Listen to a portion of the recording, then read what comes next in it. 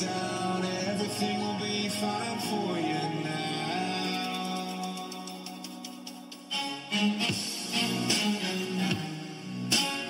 now.